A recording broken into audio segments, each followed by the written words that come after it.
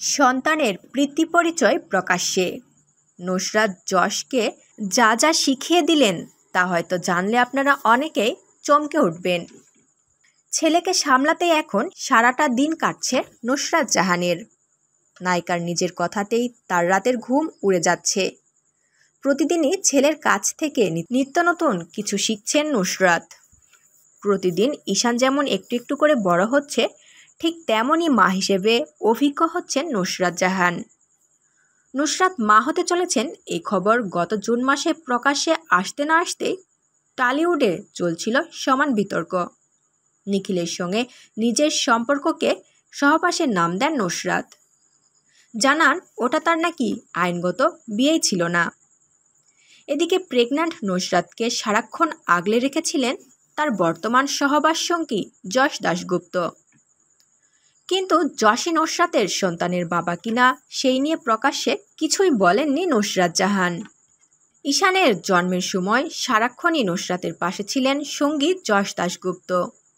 যশের সঙ্গে মিলিয়েই নুসরাত ছেলের নাম রেখেছে ঈশান। শুরু থেকে ঈশানের নামের সঙ্গে মিলেমিশে রয়েছেন যশ।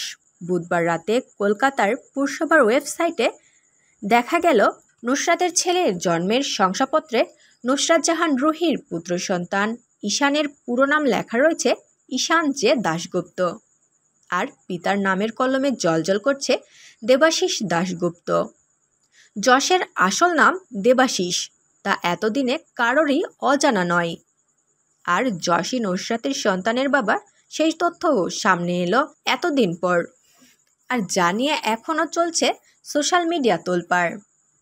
অনেকেই নুসরাতকে এই বলে কটাক্ষ করছেন, তবে এতদিন নিজেকে সিঙ্গেল মাদার বলে দেখনদারির কি দরকার ছিল?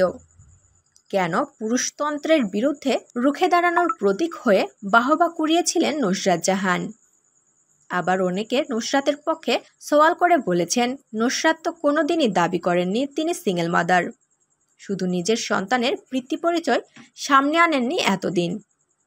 এই তর্ক বিতর্ক নিয়ে যখন সোশ্যাল মিডিয়ায় রেড়ে কাণ্ড, ঠিক তখনই নিজের ইনস্টাগ্রাম স্টোরিতে ইঙ্গিতপূর্ণ বার্তা পোস্ট করলেন নুসরাত।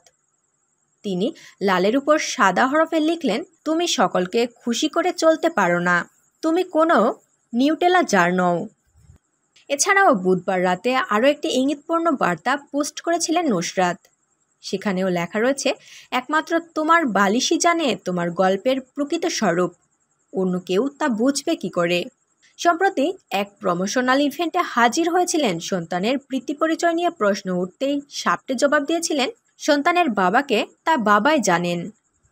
তবে নুসরাতের এমন ইঙ্গিতপূর্ণ পোস্ট থেকে বোঝা যাচ্ছে, নুসরাত যশকে বিভিন্নভাবে লোকেদের সাথে, ফ্যানেদের সাথে মানিয়ে নেওয়ার বা তাদের মতো করে চলার উপদেশ দিচ্ছেন। তাই তো তিনি যশকে উদ্দেশ্য করে লিখেছেন তুমি সকলকে খুশি করে চলতে পারো না। তো বন্ধুরা, এ সম্পর্কে আপনাদের মন্তব্য কি? অবশ্যই কমেন্ট করে আমাদের জানিয়ে দিন। আর টালিউডের লেটেস্ট আপডেট সবার আগে পেতে হলে আমাদের চ্যানেলটি সাবস্ক্রাইব করে পাশের বেলাইকনটি অন রাখুন। এতক্ষণ সাথে থাকার জন্য ধন্যবাদ।